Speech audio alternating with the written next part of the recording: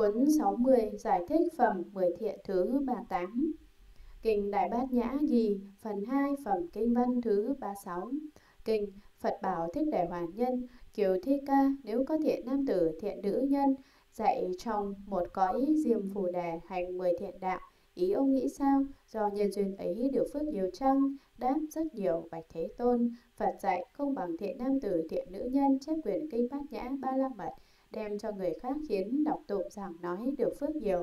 Vì sao? Vì trong bát nhã ba la mật có nói rộng các pháp vô lậu. Thiện nam tử, thiện nữ nhân học từ trong đó, đã học, nay học, sẽ học, được vào trong tránh pháp vị, đã vào, nay vào, sẽ vào, được tu đà hoàn quả, đã được, nay được, sẽ được, cho đến được A-la-hán quả. Cầu Bích tri Phật đạo cũng như vậy. Các Bồ Tát, Ma Ha Tát, cầu vô thượng tránh đẳng tránh giác, được vào trong tránh pháp vị, đã vào, nay vào, sẽ vào, được vô thượng tránh đẳng tránh giác, đã được, nay được, sẽ được. Kiều thi ca những gì là pháp vô lậu, đó là bốn niệm xứ cho đến tám thánh đạo phần, bốn thánh đế, nội không cho đến vô pháp hữu pháp không, Phật mười lực cho đến mười tám pháp không chung, thiện nam tử, thiện nữ nhân học pháp ấy được vô thượng tránh đẳng tránh giác, đã được, nay được, sẽ được. Kiều thi ca nếu có thiện nam tử, thiện nữ nhân dạy một người khiến cho được quả tu đà hoàn, người ấy được phước đức hơn dạy người trong một cõi diêm phủ đề hành mười thiện đạo. Vì sao? Kiều thi ca vì dạy người trong một cõi diêm phủ đề hành mười thiện đạo không lìa khỏi khổ địa ngục súc sinh ngạ quỷ. Kiều thi ca dạy một người chứng được quả tu đà hoàn thì lìa khỏi ba đường ác cho đến được quả A-la-hán đạo bích chi Phật cũng như vậy. Kiểu thi ca, nếu thiện nam tử, thiện nữ nhân, dạy người trong một cõi diêm phủ đà được quả tu đà hoàn, tu đà hàm, ana hàm, a la hán, bích chi Phật đạo, không bằng thiện nam tử, thiện nữ nhân, dạy một người khiến chứng được vô thượng tránh đẳng tránh giác, được phước nhiều. Vì sao? Kiểu thi ca, vì nhân nơi Bồ Tát nên sinh ra tu đà hoàn cho đến A-la-hán bích chi Phật, vì nhân nơi Bồ Tát nên sinh ra trừ Phật. Do nhân duyên ấy nên kiểu thi ca, nên biết thiện nam tử, thiện nữ nhân chép quyền kinh bát nhã ba la mật cho người khác, khiến chép cất giữ đọc tụng, dạng nói được phước rất nhiều. Vì sao? Vì trong bát nhã ba la mật ấy có nói rộng về các pháp lành, học trong pháp lành ấy bèn xuất sinh dòng lớn sát lợi, dòng lớn bà la môn, đại gia cư sĩ, trời tứ thiên vương cho đến trời phi hữu tưởng, phi vô tưởng, bèn có bốn niệm xứ cho đến trí nhất thiết trùng, bèn có tu đà hoàn cho đến a la hán bích chi phật bèn có chư Phật. Tiểu thi ca, không kể người trong một cõi diêm phủ đề, nếu có thiện nam tử, thiện nữ nhân, dạy chúng sinh trong thế giới bốn châu thiên hạ hành mười thiện đạo. Ý ông nghĩ sao? Do nhân duyên ấy, người đó được phước nhiều chăng? Đáp rất nhiều, bạch thế tôn. Phật dạy không bằng thiện nam tử, thiện nữ nhân, chép quyển kinh bát nhã ba la mật cho người khác, bảo chép cất giữ, đọc tụng rằng nói được phước nhiều. Ngoài ra như trên đã nói, Kiểu thi ca, không kể chúng sinh trong thế giới bốn châu thiên hạ, nếu dạy chúng sinh trong tiểu thiên thế giới hành mười thiện đạo cũng như vậy. Kiểu thi ca, không kể chúng sinh trong tiểu thiên thế giới, nếu dạy chúng sinh trong hai ngàn trung thế giới, bảo hành mười thiện đạo, nếu lại có thiện nam tử, thiện nữ nhân, chép quyển kinh bát nhã ba la mật cho người khác, bảo chép cất giữ, đọc tụng, người ấy được phước nhiều. Ngoài ra như trên đã nói, kiểu thi ca không kể chúng sinh trong hai ngàn trung thế giới, nếu dạy chúng sinh trong ba ngàn đại thiên thế giới bảo hành mười thiện đạo, nếu lại có người chép quyền kinh bát nhã ba la mật cho người khác, bảo chép cất giữ đọc tụng, người ấy được phước đức nhiều. Kiểu thi ca không kể chúng sinh trong ba ngàn đại thiên thế giới, nếu dạy chúng sinh trong thế giới nhiều như các sông hằng, bảo hành mười thiện đạo, nếu lại có người chép quyền kinh bát nhã ba la mật cho người khác, bảo chép cất giữ đọc tụng phước ấy nhiều, ngoài ra như trên nói. Lại nữa, kiểu thi ca có người dạy chúng sinh trong một cõi diêm phủ đẻ, bảo an chú bốn thiện, bốn tâm vô lượng, bốn định vô sắc, năm thần thông. Ý ông nghĩ sao? Thiện nam tử, thiện nữ nhân ấy được phước đức nhiều chăng?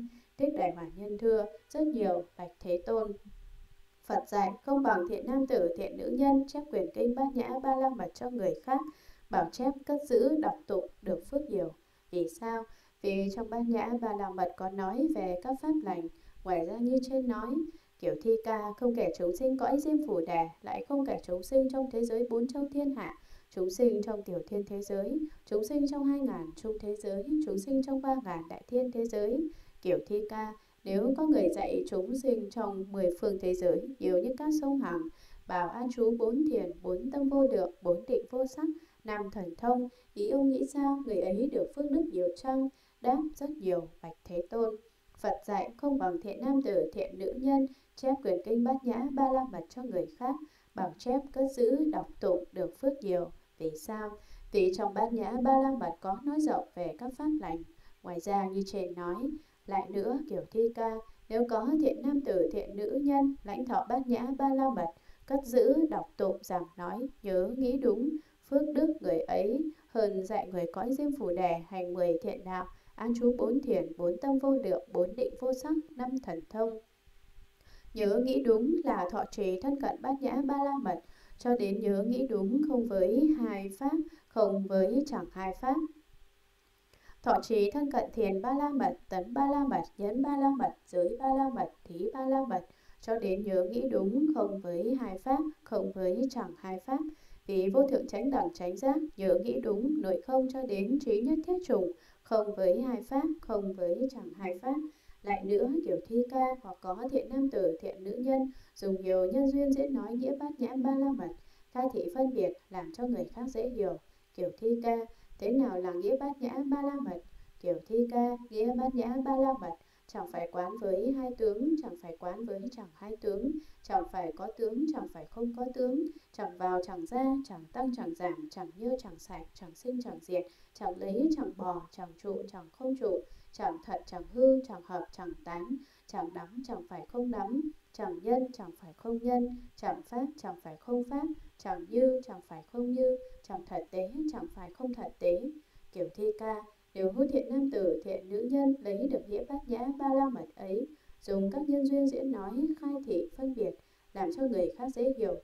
Thiện nam tử, thiện nữ nhân ấy, được phước đức rất nhiều, hơn huệ tự thọ trì bát nhã ba la mật thần cận đọc tụng, giảng nói, nhớ, nghĩ đúng. Lại nữa, kiểu thi ca, thiện nam tử, thiện nữ nhân tự thọ trì bát nhã ba la mật thân cận, đọc tụng, giảng nói, nhớ nghĩ đúng dùng các nhân duyên, diễn nói nghĩa bát nhã, ba la mật, khai thị, phân biệt, làm cho người khác dễ hiểu. Thì thiện nam tử, thiện nữ nhân ấy được phước đức rất nhiều. Thích đề hoàn nhân, bạch phật rằng bạch đức thế tôn. Thiện nam tử, thiện nữ nhân, nên như vậy diễn nói nghĩa bát nhã, ba la mật, khai thị, phân biệt, làm cho dễ hiểu. Phật dạy thích đề hoàn nhân. Như vậy, kiểu thi ca, thiện nam tử, thiện nữ nhân ấy, nên như vậy diễn nói bát nhã, ba la mật khai thị phân biệt làm cho dễ hiểu. Kiểu thi ca, thiện nam tử, thiện nữ nhân diễn nói nghĩa bát nhã, ba la mật. Khai thị phân biệt làm cho dễ hiểu như vậy, được vô lượng vô biên, vô số phước đức. Để hư thiện nam tử, thiện nữ nhân cũng dường mười phương vô lượng vô số chư phật đến suốt đời. Tùy chỗ nhu cầu, cung kính, tôn trọng, tán thán, hương hoa, cho đến phan lọng cúng dường. Nếu lại có thiện nam tử, thiện nữ nhân, dùng các nhân duyên diễn nói nghĩa bát nhã, ba la mật khai thị phân biệt làm cho người khác dễ hiểu. Thì thiện nam tử, thiện nữ nhân này được phước đức rất nhiều. Vì sao? Vì chư phật quá khứ, vị lai hiện tại để học nơi bát nhã, ba la mật ấy mà được vô thượng tránh đẳng tránh giác, đã được, nay được, sẽ được. Lại nữa kiểu thi ca, nếu thiện nam tử, thiện nữ nhân tu, thí ba la mật trong vô lượng, vô biên, vô số kiếp không bằng thiện nam tử, thiện nữ nhân, đem nghĩa bát nhã, ba la mật giảng nói khai thị, phân biệt làm cho người khác dễ hiểu. Phước này rất nhiều vì không có sở đắc. Sao gọi là có sở đắc? Kiểu thi ca, nếu bồ tát ma ha tát vì có sở đắc nên bố thí. Trong khi bố thí nghĩ rằng, ta cho kia nhận đầy vật thí, ấy gọi là có sở đắc bố thí, không được gọi thành ba la mật. Ta giữ giới, đây là giới, ấy gọi là sở đắc giới, không được thành ba la mật. Ta nhẫn nhục nhẫn nhục vì người kia, ấy gọi là sở đắc nhẫn nhục, không được thành ba la mật ta tinh tấn tinh tấn vì việc ấy ấy gọi là sở đắc tinh tấn, không được thành ba la mật. Ta tu thiền pháp tu là thiền, ấy gọi là sở đắc thiền, không được thành ba la mật. Ta tu tuệ pháp tu là tuệ, ấy gọi là sở đắc tuệ, không được thành ba la mật. Kiểu thi ca, thiện nam tử, thiện nữ nhân nào tu như vậy, không được đầy đủ thí ba la mật. Dưới ba la mật, nhẫn ba la mật, tấn ba la mật, thiền ba la mật và bát nhã ba la mật. Thích để hoàn nhân bạch phật bạch đức thế tôn bồ tát ma tát làm sao đầy đủ thí ba la mật giới ba la mật nhẫn ba la mật tấn ba la mật thiền ba la mật bát nhã ba la mật? Phật bảo thích đại hoàn nhân Bồ Tát Ma Tát khi bố thí không thủ đắc người cho, không thủ đắc người nhận, không thủ đắc vật thí, người ấy được đầy đủ thí ba la mật cho đến khi tu bát nhã ba la mật, không thủ đắc trí, không thủ đắc trí được tu, người ấy được đầy đủ bát nhã ba la mật. Kiểu thi ca ấy là Bồ Tát Ma Ha Tát đầy đủ thí ba la mật cho đến bát nhã ba la mật. Thiện nam tử, thiện nữ nhân tu bát nhã ba la mật như vậy, nên vì người khác mà diễn nói nghĩa kia khai thị phân biệt làm cho dễ hiểu. Tu thiện ba la mật, tấn ba la mật, nhẫn ba la mật, giới ba la mật, thí ba la mật, nên diễn nói nghĩa kia khai thị phân biệt làm cho dễ hiểu. Vì sao? Kiểu thi ca vì đời vị lai sẽ có thiện nam tử, thiện nữ nhân muốn nói bát nhã ba la mật mà nói tương tự bát nhã ba la mật có thiện nam tử, thiện nữ nhân phát tâm vô thượng tránh đẳng tránh giác nghe tương tự bát nhã ba la mật ấy bị mất tránh đạo thiện nam tử, thiện nữ nhân nên vì người ấy dễ nói đầy đủ nghĩa bát nhã ba la mật khai thị phân biệt làm cho dễ hiểu. Thích đệ Hoàn Nhân bạch Phật rằng Bạch Đức Thế Tôn thế nào là bát nhã ba la mật tương tự? Phật dạy có thiện nam tử, thiện nữ nhân nói bát nhã ba la mật có chỗ thủ đắc ấy là bát nhã ba la mật tương tự. Thích Đại Hoàn Nhân bạch Phật rằng như thế nào là thiện nam tử, thiện nữ nhân nói bát nhã ba la mật có sở đắc ấy là bát nhã ba la mật tương tự. Phật dạy thiện nam tử, thiện nữ nhân nói bát nhã ba la mật có sở đắc đắc gọi là bát nhã ba la mật tương tự. Nói là nói sắc vô thường và nói rằng tu được như vậy là tu bát nhã ba la mật. Hành giả tìm sắc vô thường ấy là tu bát nhã ba la mật tương tự.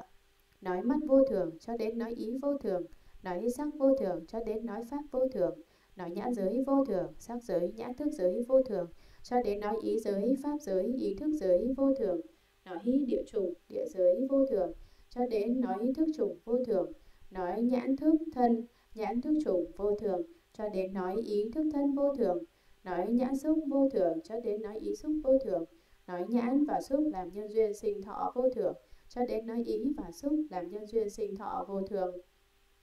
Rộng nói như năm uẩn, nói sắc khổ cho đến nói ý và xúc làm nhân duyên sinh thọ khổ, nói sắc vô ngã cho đến nói ý và xúc làm nhân duyên sinh thọ vô ngã, đều nói như năm uẩn. Hành giả khi tu thí ba la mật vì nói sắc vô thường, khổ vô ngã, cho đến nói ý và xúc làm nhân duyên sinh thọ vô thường, khổ vô ngã. Thí ba la mật cho đến bát nhã ba la mật cũng như vậy. Tu bốn thiền, bốn tâm vô lượng, bốn định vô sắc, vì nó là nó vô thường, khổ, vô ngã. Tu bốn niệm xứ vì nó là vô thường, khổ, vô ngã. Cho đến khi tu trí nhất thiết trùng vì nó là vô thường, khổ, vô ngã, dạy như vậy. Người tu được như vậy cho là tu bát nhã ba la mật, kiểu thi ca ấy gọi là bát nhã ba la mật tương tự. Lại nữa kiểu thi ca, nếu thiện nam tử thiện nữ nhân ở đời vị lai nói bát nhã ba la mật tương tự là nói rằng thiện nam tử, các ông tu bát nhã ba la mật, thì các ông tu bát nhã ba la mật sẽ được sơ địa cho đến sẽ được địa thứ 10, tu thiện ba la mật cho đến tu thí ba la mật cũng như vậy. Hành giả do tương tự có sở đắc do tổng tướng tu bát nhã ba la mật, kiểu thi ca ấy gọi là bát nhã ba la mật tương tự. Lại nữa kiểu thi ca, thiện nam tử thiện nữ nhân muốn nói bát nhã ba la mật mà nói rằng thiện nam tử các ông tu hành bát nhã ba la mật xong sẽ vượt quá địa vị thanh văn bích chi Phật, ấy gọi là bát nhã ba la mật tương tự. Lại nữa, thiện nam tử, thiện nữ nhân, vì người cầu Phật đạo mà nói như vậy, thiện nam tử, thiện nữ nhân, các ông tu hành bát nhã ba la mật, rồi vào Bồ Tát vị, được vô sinh nhẫn, được vô sinh nhẫn rồi đền trú ở Bồ Tát thần thông, từ một cõi Phật đến một cõi Phật cúng dường chư Phật, cung kính tôn trọng tán thán. Nói như vậy, ấy gọi là bát nhã ba la mật tương tự. Lại nữa kiểu thi ca, thiện nam tử, thiện nữ nhân vì người cầu Phật đạo mà nói như vậy. Thiện nam tử, thiện nữ nhân, các ông học bát nhã ba la mật, thọ trì đọc tụng giảng nói nhớ nghĩ đúng sẽ được vô lượng vô biên vô số công đức nói như vậy ấy gọi là bát nhã ba la mật tương tự lại nữa thiện nam tử thiện nữ nhân vì người cầu phật đạo mà nói rằng như trừ phật quá khứ vị lai hiện tại có gốc lành công đức từ khi mới phát tâm đến khi thành phật đều tập hợp hồi hướng đến vô thượng chánh đẳng chánh giác nói như vậy ấy gọi là bát nhã ba la mật tương tự thích đại hoàn nhân bạch phật rằng bạch đức thế tôn làm sao thiện nam tử thiện nữ nhân vì người cầu Phật đạo không nói bát nhã ba la mật tương tự.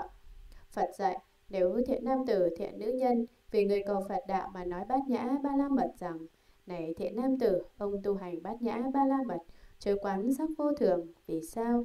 Vì sắc, sắc tướng không, tánh sắc ấy chẳng phải pháp.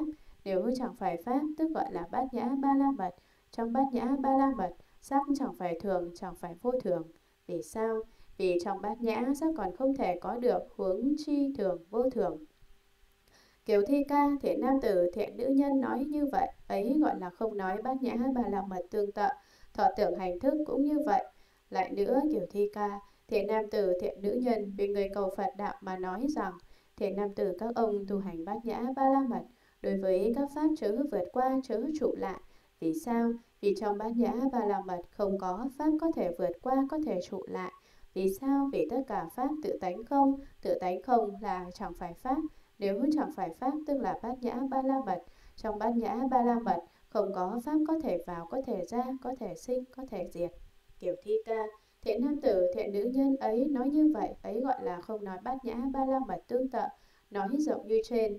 Trái với nói tương tự là không nói bát nhã ba la mật tương tự. Như vậy kiểu thi ca, thiện nam tử, thiện nữ nhân nên dễ nói nghĩa bát nhã ba la mật như vậy. Nếu nói nghĩa bát nhã ba la mật như vậy, được công đức hơn người trước. Luận Luận giả nói, Phật lại muốn bằng cửa khác làm rõ bát nhã ba la mật hơn, nên hỏi đế thích rằng, nếu có người dạy người trong một cõi diêm phủ đề tu mười thiện đạo phước ấy nhiều không? Như trong kinh đã nói rộng, trong đó nói nhân duyên, sở dĩ hơn là vì bát nhã ba la mật rộng nói các pháp vô lậu, thành ba thừa đạo và niết bàn không trở lại. Còn mười thiện đạo chỉ là pháp thiện hữu lậu, được hưởng phước lạc vô thường trong thế gian rồi trở lại chịu khổ, thế nên không bằng. Lại nữa, trước là pháp thế gian, sau là pháp xuất thế gian, trước là pháp sinh ra sinh tử, sau là pháp diệt sinh tử, trước là nhân duyên của cái vui vô thường, sau là nhân duyên của cái vui thường. Trước là pháp trùng giữa phàm phu và thánh nhân, sau chỉ là pháp của thánh nhân có các sai biệt như vậy. Pháp vô lậu là 37 phẩm, 18 pháp không chung cho đến vô lượng các Phật pháp, muốn khiến việc ấy dễ hiểu rõ ràng, nên lại nói nhân duyên rằng dạy một người khiến được quả tu đà hoàn, được phương đức lớn hơn dạy người trong một cõi diêm phủ đè tu 10 thiện đạo. Vì tuy tu 10 thiện đạo vẫn chưa thoát khỏi ba đường dữ, cho đến được A-la-hán bích chi Phật đạo cũng như vậy. Phật lại nói thí dụ, nếu có người dạy người trong một cõi diêm phù đà khiến chứng được thanh văn bích chi Phật đạo, không bằng có người dạy một người khiến chứng được vô thượng tránh đẳng tránh giác, người ấy được phước nhiều. Vì sao?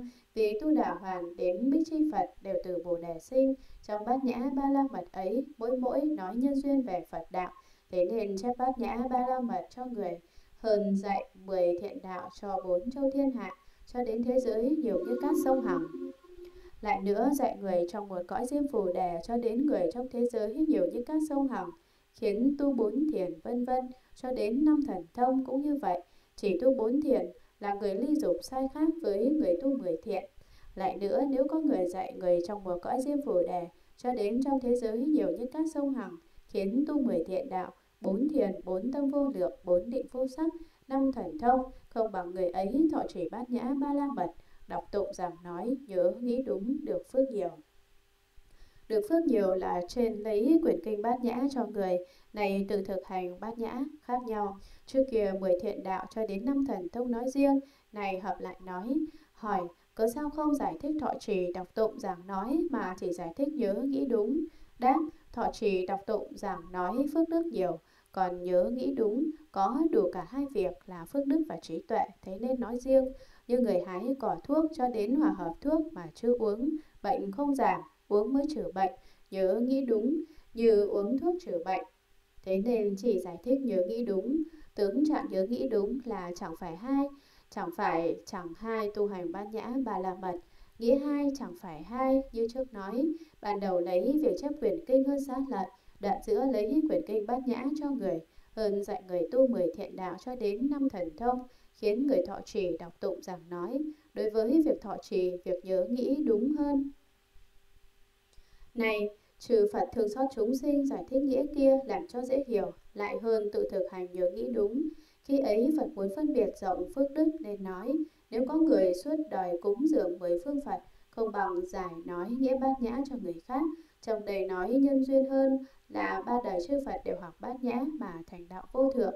Lại nữa, nếu Bồ Tát tu sáu ba la mật trong vô lượng kiếp, vì có sở đắc nên không bằng người giải nói bát nhã ba la mật cho người khác. Có sở đắc là lấy tầm chấp ngã thủ tướng các pháp, Phật lại muốn nói tránh nghiêm bát nhã nên đáp đế thích. Bồ Tát không có sở đắc tu sáu ba la mật thời được đầy đủ, đó tức là trái nghĩa bát nhã ba la mật. Có người trong đời vị lai nói bát nhã tưởng thợ là ở trong hội chúng có người nghe nói nhớ nghĩ đúng suy nghĩ rằng thế nào là nhớ nghĩ sai, thế nên nói cho biết tướng bát nhã ba la mật tương tự. Nhiều người biết rõ là đạo phi đạo nên bỏ phi đạo hành tránh đạo. Lại nữa vì thương xót chúng sinh ở vị lai không gặp Phật và các Bồ Tát chỉ gặp kinh sách nhớ nghĩ tà nên theo đó chấm chấp đắm âm thanh nói bát nhã ba la mật tương tự tương tự là danh tự ngữ ngôn đồng mà tâm và nghĩa khác, như đem tâm chấp trước thủ tướng nói năm uẩn, vân vân. Vô thường cho đến không sinh không diệt, đó là bát nhã tương tự. Nếu không đem tâm chấp trước, không chấp thủ tướng nói năm uẩn vô thường, chỉ vì để phá điên đảo chấp thường, nên không chấp vô thường. Như vậy là bát nhã chân thật. Người thuyết pháp này dạy bỏ bát nhã ba la mật tương tự, mà tu tập bát nhã chân thật. Ấy gọi là nói tránh nghĩa bát nhã ba la mật, công đức hơn trước kinh lại nữa kiểu thi ca đối với chúng sinh trong cõi diêm phù đề đều dạy khiến được tu đà hoàn ý ông nghĩ sao người ấy được phước nhiều chăng đáp rất nhiều bạch thế tôn Phật dạy không bằng thiện nam tử, thiện nữ nhân bằng mỗi mỗi cách diễn nói nghĩa bát nhã ba la mật, khai thị phân biệt làm cho người dễ hiểu, nói như vậy. Thiện nam tử, ông đến lãnh thọ bát nhã ba la mật, siêng học, tụng nói, nhớ nghĩ đúng và thực hành như trong bát nhã ba la mật nói. Vì sao? Vì từ trong bát nhã ba la mật ấy xuất sinh tu đà hoàn. Kiểu thi ca, không kể chúng sinh trong cõi riêng phủ đề, lại không kể chúng sinh trong bốn châu thiên hạ, tiểu thiên thế giới, hai ngàn trung thế giới, ba ngàn đại thiên thế giới. Nếu có người dạy chúng sinh trong thế giới nhiều như các sông hằng, dạy tất cả khiến chứng được tu đà hoàn, ý ông nghĩ sao người ấy được phước nhiều chăng? Đáp rất nhiều, bạch thế tôn. Phật dạy không bằng thiện nam tử, thiện nữ nhân, bằng mỗi mỗi cách dễ nói nghĩa bát nhã ba la mật, khai thị phân biệt làm cho người dễ hiểu. Nói như vậy, thiện nam tử, ông đến lãnh thọ bát nhã ba la mật, siêng đọc tụng nói, nhớ nghĩ đúng, thực hành như trong bát nhã ba la mật nói. Vì sao? Vì từ trong bát nhã ba la mật ấy xuất sinh tu đà hoàn. Lại nữa kiểu thi ca, nếu có thiện nam tử, thiện nữ nhân, dạy người trong cõi diêm phủ đề khiến được tư đà hàm, a na hàm, a la hán. Ý ông nghĩ sao? Người ấy được nhiều phước chăng? Đáp rất nhiều bạch thế tôn. Phật dạy không bằng thiện nam tử, thiện nữ nhân ấy bằng mỗi mỗi cách dễ nói nghĩa bát nhã ba la mật, khai thị phân biệt làm cho người dễ hiểu. Nói như vậy, ông đến đây thiện nam tử lãnh thọ bát nhã ba la mật siêng đọc tục nói nhớ nghĩ đúng. Thực hành như trong bát nhã ba la mật nói vì sao? Vì từ trong bát nhã ba la mật ấy xuất sinh tư đà hàm a na hàm a la hán cho đến dạy chúng sinh trong thế giới mười phương nhiều như các sông hằng cũng như vậy. Lại nữa kiểu thi ca nếu thiện nam tử thiện nữ nhân dạy chúng sinh trong một cõi diêm phủ đề khiến được bức chi phật đạo ý ông nghĩ sao? Người ấy được phước nhiều chăng? Đáp rất nhiều bạch thế tôn. Phật dạy không bằng thiện nam tử, thiện nữ nhân, bằng mỗi mỗi cách dễ nói nghĩa bát nhã ba la mật, khai thị phân biệt làm cho người dễ hiểu, nói như vậy. Ông hãy đến lãnh thọ bát nhã ba la mật, siêng đọc tụng nói, nhớ nghĩ đúng, thực hành như trong bát nhã ba la mật nói. Vì sao? Vì từ trong bát nhã ba la mật ấy xuất sinh các bích chi Phật đạo, dạy chúng sinh trong bốn châu thiên hạ, cho đến trong thế giới mười phương hiểu như các sông hằng cũng như vậy. Lại nữa kiểu thi ca, thiện nam tử thiện nữ nhân dạy chúng sinh trong một cõi diêm phủ đà, khiến phát tâm vô thượng tránh đẳng tránh giác. Ý ông nghĩ sao người ấy được phước nhiều chăng? Đáp rất nhiều, bạch thế tôn. Phật dạy không bằng thiện nam tử, thiện nữ nhân dùng nhiều cách dễ nói nghĩa bát nhã ba la mật, khai thị phân biệt làm cho người dễ hiểu, nói như vậy. Ông hãy học theo bát nhã ba la mật sẽ được nhất thiết trí. Ông nếu được nhất thiết trí, ông bèn được tu hành bát nhã ba la mật tăng tích đầy đủ. Nếu được tu hành bát nhã ba la mật tăng ích đầy đủ, ông sẽ được vô thượng tránh đẳng tránh giác. Vì sao? Kiều Thi Ca vì từ trong bát nhã ba la mật xuất sinh các Bồ Tát Ma Ha Tát mới phát tâm cho đến dạy chúng sinh trong thế giới mười phương hiểu như các sông hằng cũng như vậy. Lại nữa Kiều Thi Ca, thiện nam tử, thiện nữ nhân dạy chúng sinh trong một cõi riêng phù đà khiến an trụ địa vị bất thối chuyển. Ý ông nghĩ sao người ấy phước đức nhiều trăng Đáp rất nhiều, bạch Thế Tôn. Phật dạy không bằng thiện nam tử, thiện nữ nhân, dùng mỗi mỗi cách diễn nói nghĩa bát nhã ba la mật, cai thị phân biệt làm cho người dễ hiểu, nói như vậy. Thiện nam tử, ông hãy đến lãnh thọ bát nhã ba la mật cho đến thực hành như trong bát nhã ba la mật nói. Ông bèn được nhất thiết trí, được nhất thiết trí rồi, cho đến được vô thượng tránh đẳng tránh giác. Vì sao? Vì từ trong bát nhã bà la mật xuất sinh các Bồ Tát Ma Ha Tát an trú địa vị bất thối chuyển, cho đến dạy chúng sinh trong thế giới mười phương, nhiều nhất các sông hằng cũng như vậy. Lại nữa, kiểu thi ca, chúng sinh trong một cõi diêm phủ đẻ, phát tâm cầu vô thượng tránh đẳng tránh giác, nếu lại có thiện nam tử, thiện nữ nhân, diễn nói nghĩa bát nhã ba la mật, cho người khác hiểu, khai thị phân biệt, nói như vậy. Thiện nam tử, ông hãy đến lãnh thọ bát nhã ba la mật, cho đến thực hành như trong bát nhã ba la mật nói. Học xong, ông sẽ được vô thượng tránh đẳng tránh giác. Lại có người diễn nói nghĩa bát nhã ba la mật cho một vị Bồ Tát an trú địa vị bất thối chuyển, cai thị phân biệt nói như vậy. Thiện nam tử, ông hãy lãnh thọ bát nhã ba la mật, cho đến thực hành như trong bát nhã ba la mật nói. Học xong, ông sẽ được vô thượng chánh đẳng chánh giác. Thời thiện nam tử này được công đức rất nhiều, cho đến dạy chúng sinh trong thế giới mười phương nhiều như các sông hằng cũng như vậy. Lại nữa kiểu thi ca, nếu có chúng sinh trong một cõi diêm phủ đề, đều được địa vị bất thối chuyển vô thượng tránh đẳng tránh giác, lại có thiện nam tử thiện nữ nhân sẽ nói nghĩa bát nhã ba la mật cho người khác. Trong số đó có một Bồ Tát muốn mau chứng được vô thượng tránh đẳng tránh giác, nếu có thiện nam tử thiện nữ nhân diễn giải nghĩa bát nhã ba la mật cho vị Bồ Tát ấy, thì người này có công đức rất nhiều cho đến dạy chúng sinh trong thế giới mười phương, nhiều như các sông hằng cũng như vậy. Thích để Hoàn Nhân bạch Phật rằng, bạch Đức Thế Tôn, Bồ Tát Ma Ha Tát như vậy, là vị chuyển gần đến chứng được vô thượng chánh đẳng chánh giác. Như vậy hãy nên chuyển chuyển giáo, giới, giáo thọ, tù thí ba la mật, giới ba la mật, nhẫn ba la mật, tấn ba la mật, thiền ba la mật, bát nhã ba la mật, nên giáo thọ nội không cho đến vô pháp hữu pháp không, bốn niệm xứ cho đến tám thánh đạo phần. Phật mười lực, bốn điều không sợ, bốn trí vô ngại, 18 pháp không chung, cũng nên cúng dường y phục ngoại cụ ẩm thực thuốc thang theo chỗ cần dùng. Thiện nam tử, thiện nữ nhân này, pháp thí, tài thí cúng dường vị Bồ Tát ấy, được công đức hơn người trước. Vì sao? Bạch Thế Tôn vị Bồ Tát Ma Ha Tát ấy mau được vô thượng tránh đẳng tránh giác. Bây giờ tuệ mạng tu Bồ Đề nói với Thích Đề Hoàn Nhân rằng, lành thay, lành thay, kiểu thi ca, ông vị thánh đệ tử mà an ủi các Bồ Tát Ma Ha Tát, vì vô thượng tránh đẳng tránh giác nên đem pháp thí, tài thí làm lợi ích, lẽ nên như vậy. Vì sao? Vì từ trong Bồ Tát xuất sinh, thánh chúng của chư Phật, nếu Bồ Tát không phát tâm vô thượng tránh đẳng tránh giác, thải Bồ Tát ấy không thể học sáu ba la mật cho đến 18 pháp không chung. Nếu không học sáu ba la mật cho đến 18 pháp không chung, thời không thể được vô thượng tránh đẳng tránh giác. Nếu không thể được vô thượng tránh đẳng tránh giác, thời không có thanh văn bích chi Phật. Vì vậy, kiểu thi ca, các Bồ Tát Ma Tát khi học sáu ba la mật cho đến 18 pháp không chung, thời được vô thượng tránh đẳng tránh giác, được vô thượng chánh đẳng chánh giác nên dứt địa ngục súc sinh ngã quỷ đạo. Thế gian bèn có dòng lớn sát lợi, dòng lớn bà la môn đại gia cư sĩ, trời tứ thiên vương cho đến trời phi hữu tưởng phi vô tưởng